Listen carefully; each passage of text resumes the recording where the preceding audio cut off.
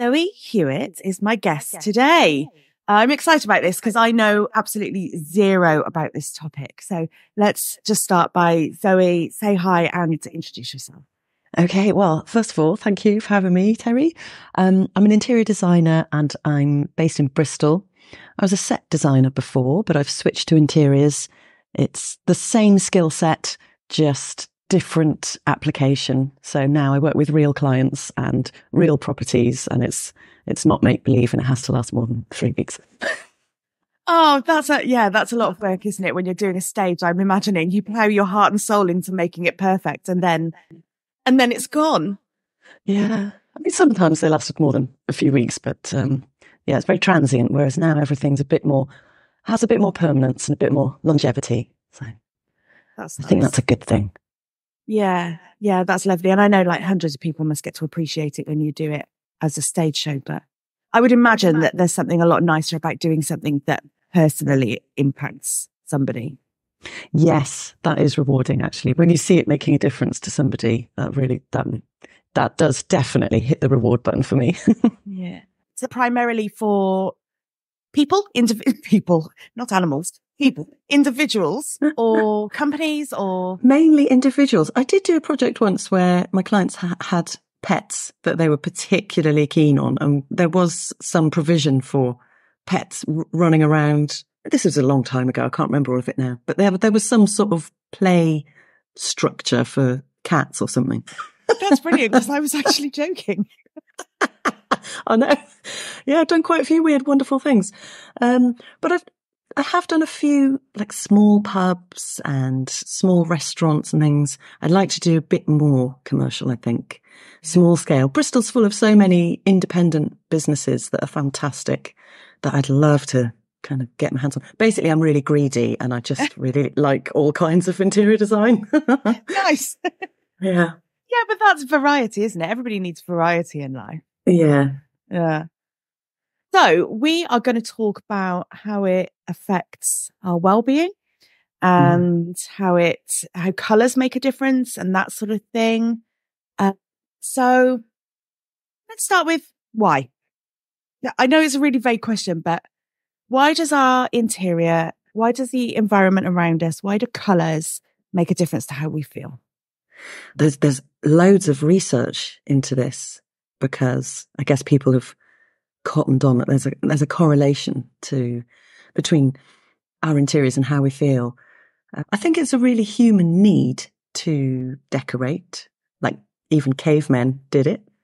Oh, okay. and I have done a little bit of reading up on this ahead of today, and I, I came across uh, some stats around how clutter makes particularly women feel really stressed and it actually increases cortisol like quite significantly. And that's definitely something I've experienced firsthand. And my current place is not immaculate, but it's, it feels good. It doesn't feel cluttered. And I've had a bit of a clear out lately. I think that's probably the most noticeable one where it really instantly affects your well-being, I think. Yeah, there's an old saying, isn't there? Tidy, tidy house, tidy mind. Yeah, it's so true. Yeah. Oh, yeah. Yeah. Yeah, I find that as well. Particularly, I, I can't bear clutter. It drives me absolutely crazy. It doesn't seem to bother my husband so much. well, I've I've read something somewhere where it literally has been re- researched and proven that it doesn't affect men quite as much as it affects women. I don't know why that is. No, I don't know. I wonder if it's something to do with um, the typically maternal housekeeping brain that we've got. Perhaps we just spend more time in it at home, being affected by it and yeah. trying to, you know, generally, I know it's a sweeping generalization. There are lots of men that do all the things as well, but generally speaking, it does tend to fall to us, doesn't it, to keep on top of the tidiness and yeah. the smooth running of a household. Yeah, it does, doesn't it? It's just one of those things. The female will do it. And and like you say, sweeping generalization, obviously. It doesn't apply to everybody, but it does. We have endless conversations in our house. My family chat gets it. Every now and again, there'll be a message of, I am not your keeper and I am not your slave. because it just does, doesn't it? It just falls down to women most of the time to do these things. it's just really frustrating to try and do any tasks in a mess as well. And when you have mm. to search for something and, and move 16 other things to get to the thing you actually need to touch to to use it to do whatever you're doing. I mean, that level of frustration is just too much for me. So I try to not have that here. Yeah, same. I, I if my desk is covered in stuff, then it's it's it's not even distracting. It's just annoying, and then can't focus on what I'm doing. Can't think about things clearly. So whether we realize it or not, it does have an impact, doesn't it, on the way we feel about our surroundings and where. Yeah, absolutely. I'm, I'm sort of halfway through this book that I keep picking up, and I need to actually finish it. To called "The Architecture of Happiness." It's absolutely fantastic, and there's a there's a, a little story in there about uh, when the author goes to a church and has this like amazing experience because obviously the architecture is designed to make you feel awe inspired. And then he goes to McDonald's across the way and he's just, you know, completely depressed. Oh. so these places really do impact us and our responses to them. Yeah, that's interesting, isn't it? Do you think things like McDonald's, places like McDonald's are designed to not make you want to stay in them? You go in, you get what you want. And if you eat there, you eat there and you leave. Absolutely. So apparently orange is a really good color for making people feel like they want to eat. So red and yellow are uh, appetite stimulants, which is why they use it in their in their branding. But they use orange sometimes in the restaurants because it, it's it's a color that you can have enough of quite quickly. So you eat and you leave, and it helps keep the turnover of customers quite quite fast. So we're literally being manipulated by color. yes, and that coupled with the fact that if you go to McDonald's, there's no comfy seating there's no cushions, you know, there's no comfortable armchairs like you would get in, say, a nice cafe, for example. Um, there's nothing comfortable yeah. about sitting in McDonald's. No, or like an Ivy brasserie where it's designed to be a, an experience that you stay for a long dinner and enjoy. And for example, just as a comparison, yes, that plushness is lacking in McDonald's for a reason. Yeah. And I didn't realize red and yellow were appetite stimulants. Blue is an appetite suppressant. And I think it's just because there's not a lot of blue food, maybe. I'm head to toe in blue today. You are. I love blue. I wear a lot of blue. Oh, yeah. Right. I hadn't even thought about that. Yeah. It's one of the world's most popular colours, apparently. Uh, blue and that sort of turquoisey, tealy turquoisey colour blue is associated with like trust and dignity and reserve. What else? Loyalty. You'll see it a lot in kind of corporate branding for, for like banks, solicitors, those kinds of organizations wear a lot of blue as well. I read somewhere that blue and gold particularly screams high end and corporate, like you, like you say, so that mm. matches up. Oh, let's dive in. Let's talk about colours then. So let's okay. talk us through a range of different colours and what they mean and go where you like with it. The happy colour is yellow, but it's it's quite a controversial colour as well because I, I talk about this in my workshops. I run interior design workshops and we do a little bit about colour theory and then a way to like break the rules. And we have a little quiz game where we take it in turns to read out a fact about colour. And okay. yellow always gets a bit of a hard time because apparently too much of it can make people feel nauseous. So it's apparently avoided in aircraft interior design, apart from maybe Ryanair. I was to say, apart from Ryanair. Interesting. yeah, but you don't see a lot of yellow in places like that. And it's apparently because it can make people feel sick if there's too much. Apparently it's associated with making people feel crazy there's a novel, um, I haven't read it. It's about, what's it called? The yellow, is it the yellow wallpaper? Oh, I'm sorry, I can't remember. But the story is there's this woman who's kind of locked up in this bedroom and goes bonkers after a while because of this yellow wallpaper just to keep looking at. Mm. but I mean, we just might have all these different associations with things. And of course, they're different here in the West to how they might be in the East as well. We don't yeah all share the same sort of associations with colour universally. but yeah, pops of yellow are joy promoting. Okay. Yeah. So if anyone wants a pick me up, yellow plant pot or something like that. Doesn't have to be a whole wall. That might be a bit much. yeah. That'd be too much. Depending on the intensity of the yellow as well. It's it's one of those things. Orange is quite a joyful colour too. And green is a very relaxing colour. And I whenever we go to the woods, there's some response in us that instantly helps us feel relaxed. But I think it's something to do with the wavelength of the colour as well. Um, because it's all light. Uh, red is a, a, the longest wavelength, so it sort of advances to us, which is why we use it for stoplights because we see it more easily and more quickly than any of the other colours in the spectrum. Whereas green is the most restful one for our eyes to settle on, so we can look at that for a long time. Yeah. Oh, okay. That's interesting. I hadn't thought about colours as light. I hadn't mm. thought about it actually transferring to you and the way that works with the brain. Now, for me, it starts to become clear why colors make a difference. If there's a difference in how they get to you, how they hit you, how you receive them, then that now makes sense to me why you would have a different reaction to them. I love color, but I can have even I can have too much of it, which is probably why this this room that I'm in is is white, which disappoints people sometimes because of what I do.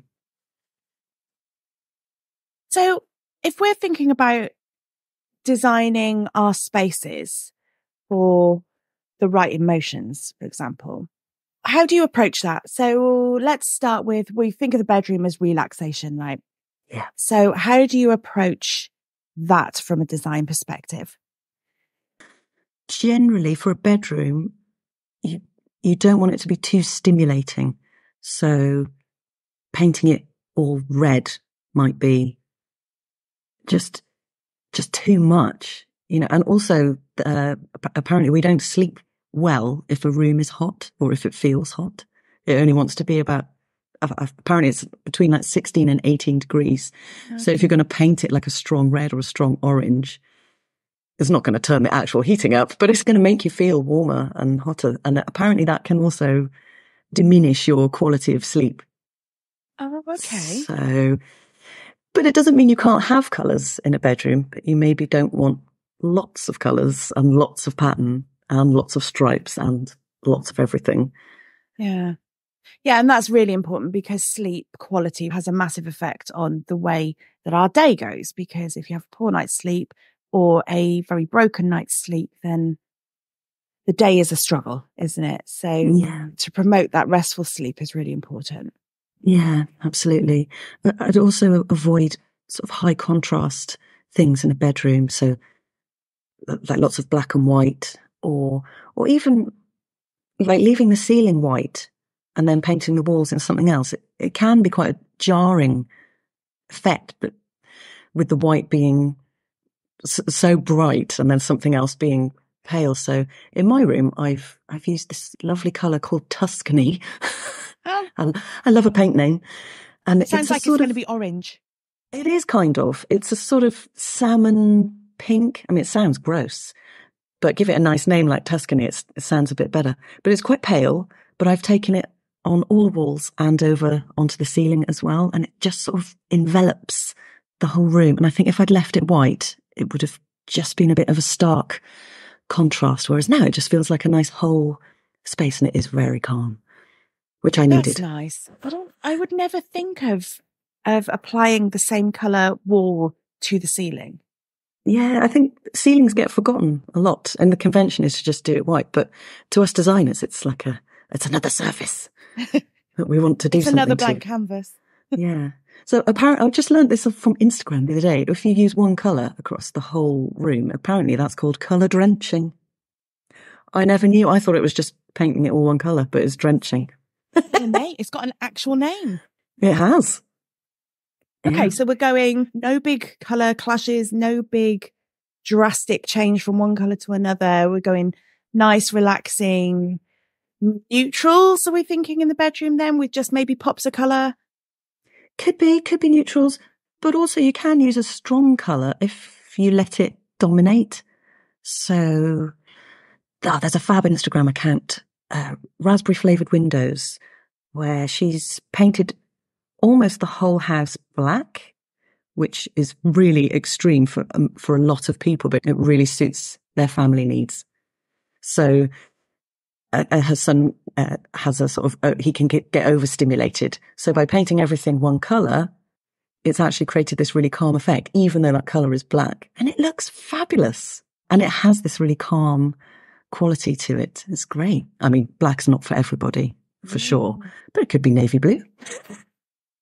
Yeah, it feel when I'm thinking about that because I don't know that Instagram account. I'm going to look it up after. But when I think about that, it feels like it's going to be really harsh and very, very dark. And I'm going to go and have a look. Yeah, it might not be your cup of tea, but it's uh, the, the principle is the same. It could it could be a really nice dark green, a foresty green with neutrals on the bedding or something like that, and still yeah. feel pretty calm. Okay, so then let's think living space, uh, like your living room. What do we think there? If we were promoting a really vibrant, energized, let's have lots of active time with the kids in this space, it's going to be vibrant family space. What do we go for? There's a difference, isn't there, between a really alive living space and somewhere that wouldn't be my cup of tea now because my kids are older and grown and I want my living space to be cozy, relaxing, very chilled vibe. So I'm just thinking there's a couple of different ways you can go with it.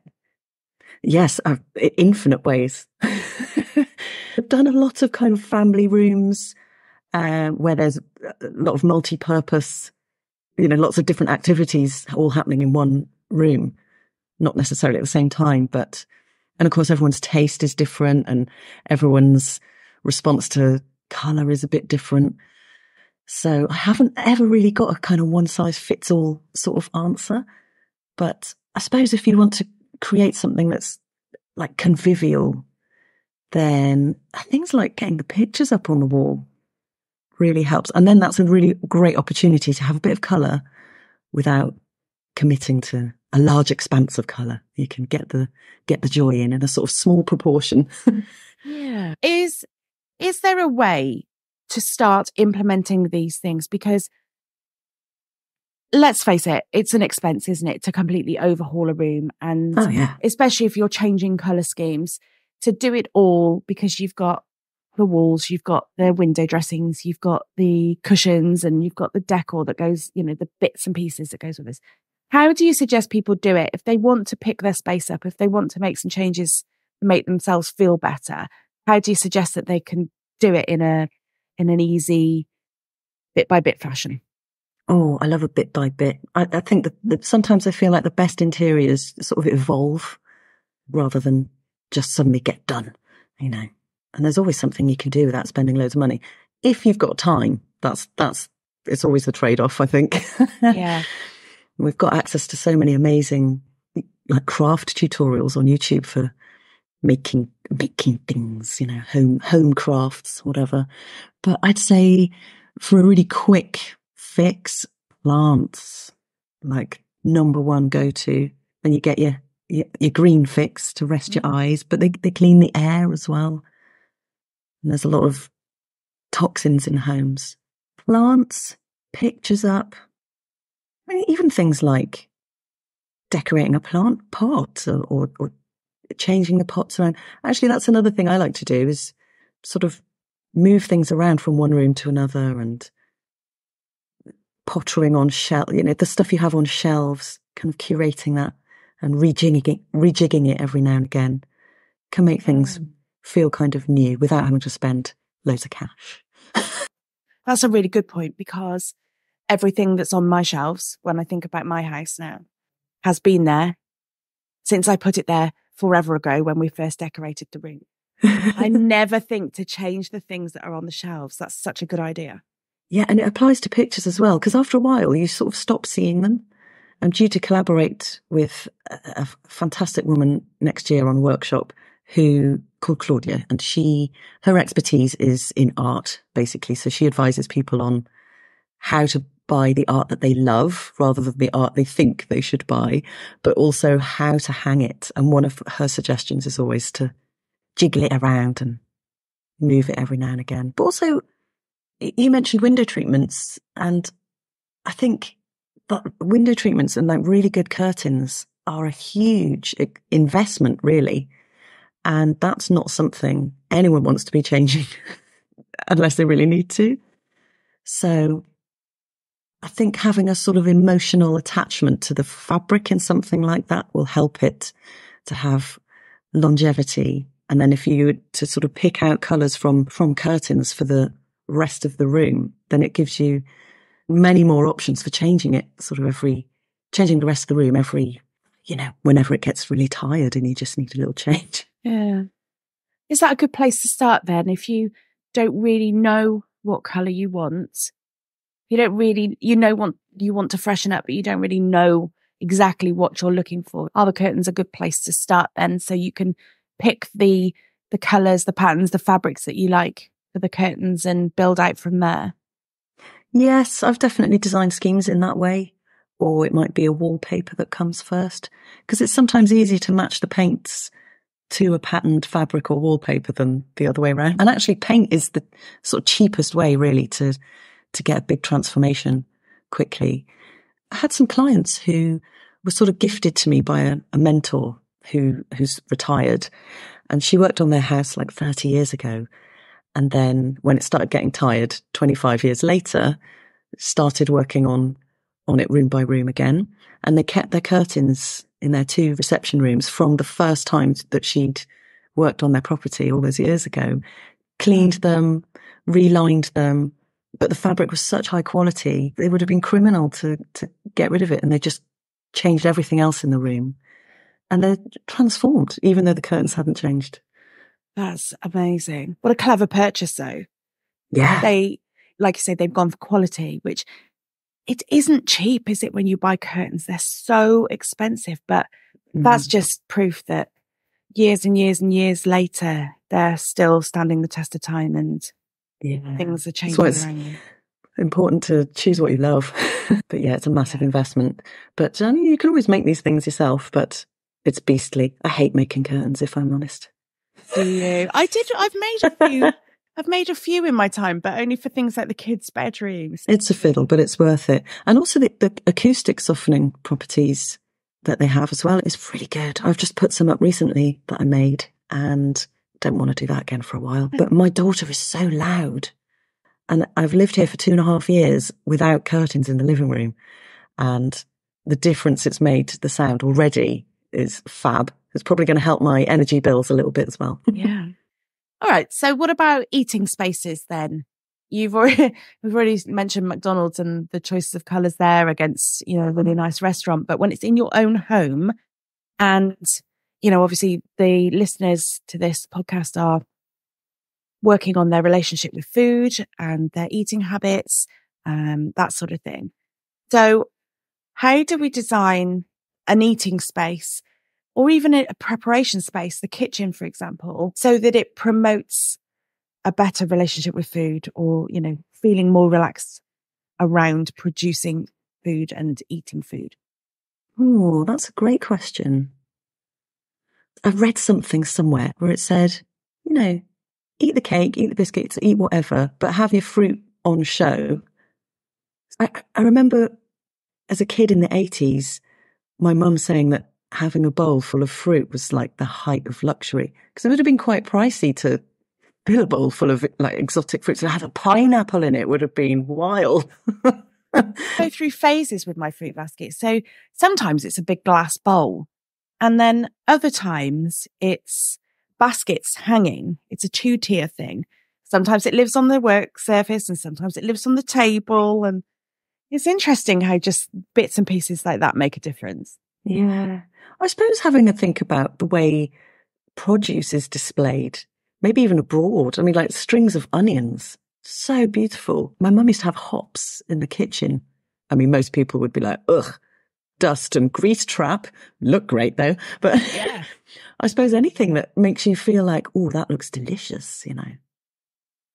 I would love a really nice I mean, uh, my house does not lend to this, but I would love a really nice, big kind of typical country kitchen where you've got things like the racks with the hops on and and and things hanging and just just lovely, just lovely. Nice. Com- it screams comfort to me. That I think that's what I'm after in a space where I'm going to prepare and eat food. Because for a lot of people that are overcoming disordered eating, food can be very stressful. Food prep can be very stressful, very overwhelming. So to make it a comfortable, homely space Mm. is really important. it wants to be user friendly and easy, doesn't it? Yeah, I love seeing f- food stuff in uh, like glass jars with a, a chalk pen label. I love. In fact, I'm I'm in the process of ordering my herbs and spices like that because I love the aesthetic of it. It feels nice to use, and a, a pint of milk in a glass bottle. Love that. The tactile joy of like a pint, a proper pint of milk that isn't in a plastic bottle.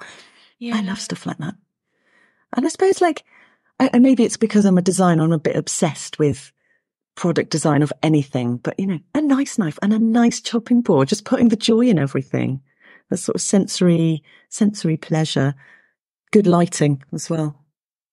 Oh, what do you mean by good lighting? So good task lighting, usually under the wall cabinets, so you can see what you're doing really well. I've I've had no light in my kitchen for a year because I had a leak from the roof and on the Oh, top floor of the flat. But I've now reinstated the light just this week, so that's definitely one to celebrate. Um, so I've been cooking in the dark for a year. Don't do that. No. oh God, it's hard enough already without doing that. Uh, um, I love my little kitchen.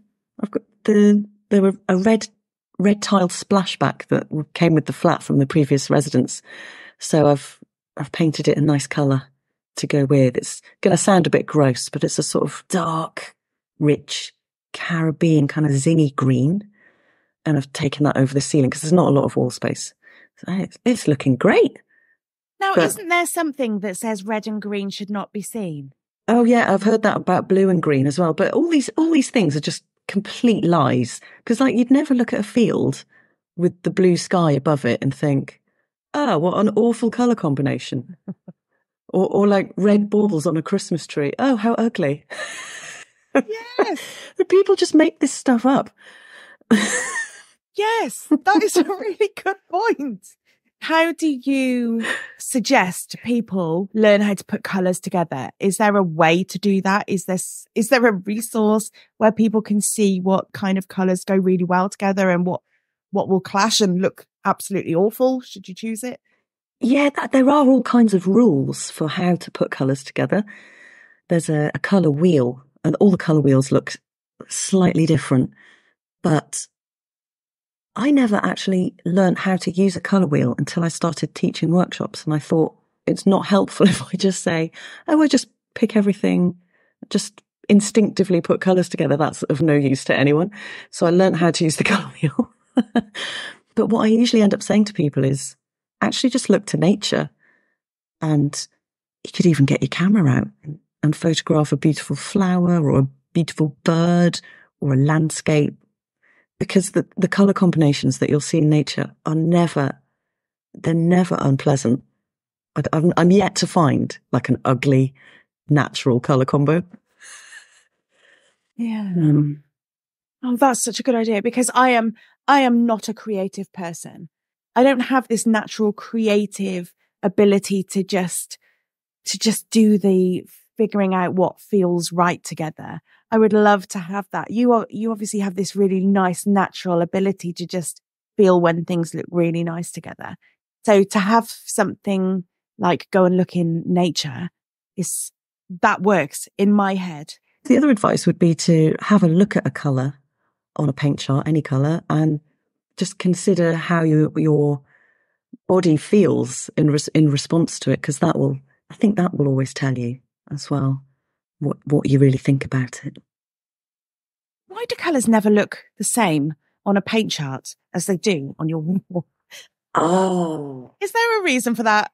yeah, I think it's to do with the, the light, because light changes constantly, and sometimes if you use a different finish, so uh, um, an eggshell finish or a satin you know, slightly, slightly shiny or gloss, high gloss finish. It's going to look different from the matte version on the paint chart as well. And then also when you've got another color next to the color you're looking at on a paint chart, it makes it behave kind of differently to how it behaves if you're just looking at it in isolation. It's very strange. And that's why we need to do tester pots. Yeah. At the time, they feel like a bit of an expense. I mean, I know I'm talking a lot about expense in this one, aren't I? I, don't mean that it should be everybody's consideration money, but you do look at a tester pot and think, oh, it's going to be nearly a fiver for one tester pot. Yeah. And, but actually, there's real value in getting a couple of those and sticking it on your wall and seeing what it looks like. I actually like to do it on wallpaper, um, lining paper, a really big swatch and two coats of it. Usually when people use tester pots, they put a little tiny patch and then they'll put another tiny patch of a different colour next to it. But it'll only be one coat, so it looks scratchy and not, it's not the best representation of that colour. and then they behave weirdly next to each other. So I always suggest big, as big a piece of paper as you can cover with one tester pot on a bit of lining paper and then move it around the room, look at it different times of the day and see how you feel about it. Oh, that's a good idea. Get the most out of that fiver. Yeah, for sure. Yeah, for sure. you know, I don't want everything to be about money, but the reality is, for a lot of people, it is about money, and and yeah, it's a shame. It's something that really bothers me about my industry because there's no getting around it. It costs some money, but thanks to technology like eBay, Gumtree, you know, we can find amazing bargains, furniture, cheap stuff, free stuff, do it up. But of course, then it means you have to invest the time, but there's something anyone can do. And it doesn't all have to be about luxury gold leaf and marble. And, you know, I feel like all, all levels of interior decor are valid and important because it affects everybody. Yeah. I love upcycling. I love no, I'll tell you what I love. I love buying things and then having my husband upcycle. Uh, but some of my bedroom furniture, for example, is really, really nice, big, chunky, solid bits of wood. And, and it looked awful when it got to us, but there's potential in it. So once it was stripped and treated and repainted and whatever, it looks great. So I'm all about free cycle and upcycling furniture. I think it's it's brilliant. And like you say, it doesn't doesn't get wasted then, it doesn't go to landfill. It's it yeah, it's great. It's a really good way to do it. Yeah, I agree. Yeah. Um you mentioned earlier toxins. Yeah. want to touch on that and the toxins in our home? Because obviously they you explain, you explain and then I'll just shut up. oh. Well, unfortunately, our, our, homes are full of toxins. Carpets aren't particularly good for us. And sofas and armchairs, basically upholstered furniture, is not good for us either. About 18 months ago, I met this fantastic upholsterer called Delyth Fetherstone Dilke. I always find that a bit of a mouthful. Wow. She's brilliant.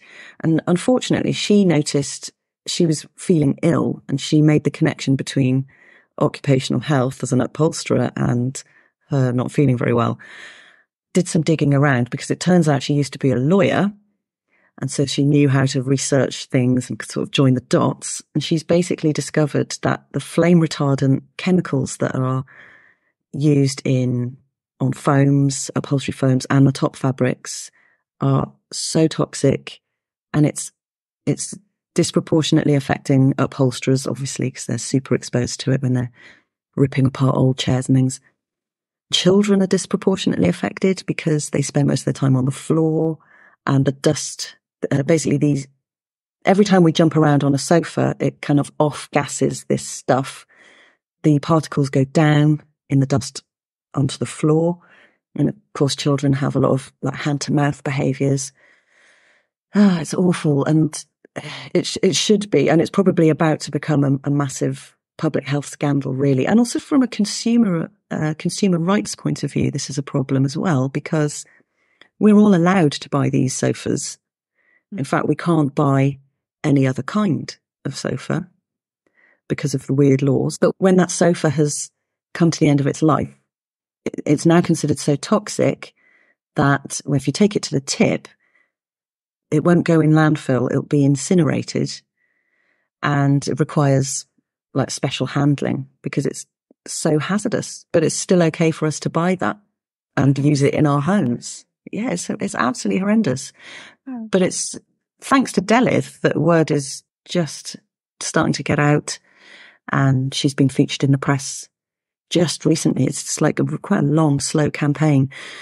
But on the continent, uh, they they use a lot less of these flame retardant chemicals, and their fire death rates aren't any different from ours, particularly. So it's suggesting that actually the flame retardants that we're using aren't preventing fires because armchairs don't like spontaneously combust. um, and it's really complicated and it's kind of to do with the way that we test and pass a, an item of furniture. So we use an open flame test where basically someone sticks a Bunsen burner on the back in the middle of a chair. And if it catches fire in 20 seconds or under, then it's no good. It needs more chemicals to inhibit the flammability. Um, but uh, abroad and in America, uh, America and Europe, they use a smolder test. So, for example, imagine someone's fallen asleep in the armchair, they're smoking, cigarettes on the arm. After 45 minutes, it might catch fire or it might just go out, depending on what the materials of the furniture are made of. But they use that kind of test instead of just sticking a Bunsen burner on it because it is a much more realistic scenario for how a fire could start. Oh, it's so complicated. But basically, we need to stop using foam uh, or we need to stop using these FRs right now. But we can't. We can't just start reupholstering everything in a traditional way using sheep wool and horsehair, which is all inherently flame retardant, because we can only do that on furniture where the frame predates 1950. It's bonkers. So don't worry, we have campaign going to sort this out. Uh, it's amazing. It's it's quite scary that actually because you think all these things are put in place. You think of it as um, development, I guess. So over time, furniture has more rigorous testing, but actually the results of that now mean that there are more chemicals in the furniture. Um, the testing is not really appropriate by the sounds of it. That sort of, you know, not realistic rather, rather than not appropriate. So, so somebody who doesn't know about it, it seems like things are good because they're progressing and they're making it safer, but actually it's becoming more harmful. Um, how do we get around that? Like you say, we, we can't all find furniture that predates the fifties. Um, no, especially not so sofas. That, no, no. And like you say, everybody's going to have one. So yeah. How do we deal with this? What can we do? What, how can we make our living spaces a bit more friendly in that respect? Because these toxins are obviously going to play into our health, yeah. play into our physical health, play into our mental health. Um, and if we could improve that, then that in turn might improve how we feel about ourselves. So, yeah, yeah, hundred percent. So there are a few things we can do. Um, luckily, Delyth Delyth kindly put some tips together for us. So she recommends regular vacuuming of furniture. Right. And obviously the floor as well. um, but yeah, hoovering, hoovering your furniture with a HEPA filter regularly. And she also recommends loose covers. So made out of a, a natural fiber, like a, a linen or cotton or a mix, because that can sort of inhibit the clouds of horrible stuff coming off sofas every time we bounce around on them. If anyone listening was to go on an upholstery course, they could do whatever they wanted to their sofa. Because if it's for your own use, fine. But obviously I can't, as a designer, I can't specify to somebody a, a fantastically healthy sofa because it would be against the law. It's bonkers. But if someone was prepared to DIY it, they could take all the horrible foam out, put some sheep wool in, fine. Oh. Yeah. Yeah. Or if they've got a vintage antique family heirloom armchair from granny, that could be upholstered traditionally. And if it's pre 950, no, no trouble. Nice and, nice and natural. but that's an expensive solution and DIYing it isn't an easy solution. So hoovering and loose covers for now. Yeah. And plants, plants and regular airing. oh, plants. Yeah. Yeah. Cause they, they're obviously natural air cleaners, aren't they? Fragrance is a really good way to boost mood at home. And candles are also fabulous because the, the glowing light just, I suppose it's like a fire. It really appeals to us. A friendly fire, you know, really appeals to our human uh, instincts and the, the soft glow of the light. Um, but I, I would say beware of fragrance candles unless they're pure essential oils, because I have a sneaking suspicion that some candles may, if they have essential oils and it's not purely natural candle, it may have additives in, which I suspect could be the same group of chemicals that are the flame retardants in furniture. But I haven't verified this yet. I need to do some more research. But apparently they're used, these additives are used to inhibit the flammability of the essential oils in candles. So it has to be the same stuff or similar. So I'd say go for a, a beeswax or a soy wax candle, ideally fragrance free, and maybe get the fragrance from essential oils in a burner instead. And then you can play around with the different combinations of different scents as well. Because they're all, like colours, they're all associated with different kind of meanings as well. Like lavender is really good for sleep. So that's a good one for the bedroom. yeah, I think there's, uh, there's a lot of information out there, isn't there, on the different essential oils and the way you can use them and the impact that they have on you. Yeah. Yeah. I do think about layouts of rooms a lot. So the sort of practical function. I always start with that actually before I go anywhere near the colours and the fun stuff. It's always about the bones and the the function of a space first. We tend to arrange our living rooms around the TV, but actually, because we're all a bit disconnected and craving connection, if it's possible to arrange a space to promote conversation and socializing instead, then brilliant. That really helps. And also creating things like book nooks little reading nook. That's that's a nice one. Sort of somewhere cozy to go and be. We need different things at different times of day, don't we? Or you know, different days of our lives. Maybe one day you do need the comfort of something like a book nook, and then other days I need something a bit more energizing and and productive feeling. Um, what advice do you have for people with teeny tiny little spaces? I, I sometimes quite relish the challenge of a, of a tiny space. I suppose the key is to just not have too much stuff because there are all sorts of clever contraptions for, eh, you know, beds folding down or desks folding down. And, but a lot of like using that stuff is quite a lot of admin that can just be really annoying if you've constantly got to move things and tidy things away. And, I know it's not always avoidable, but I guess just not having too much stuff, as much stuff as your place can reasonably take.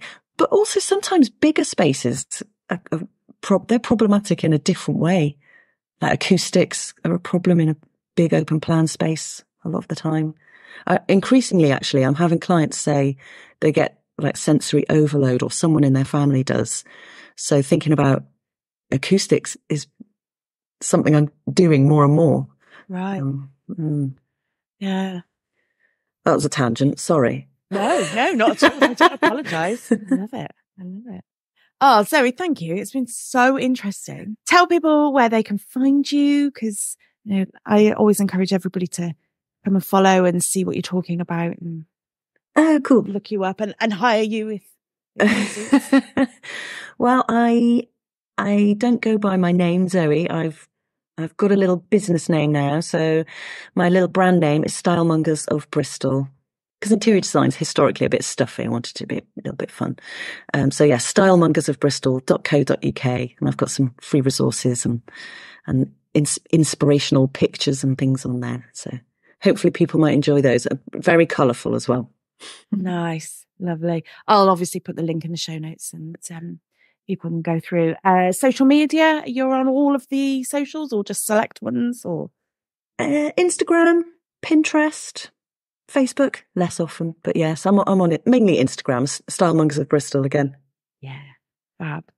Well, thank you, Zoe. Thank you so much. Thank you for letting me come and talk about my favourite things. oh, you're welcome. You're welcome. uh, this is how I like to spend my days talking to people who who can just spread a little joy. That's what I like to do. Thanks, so.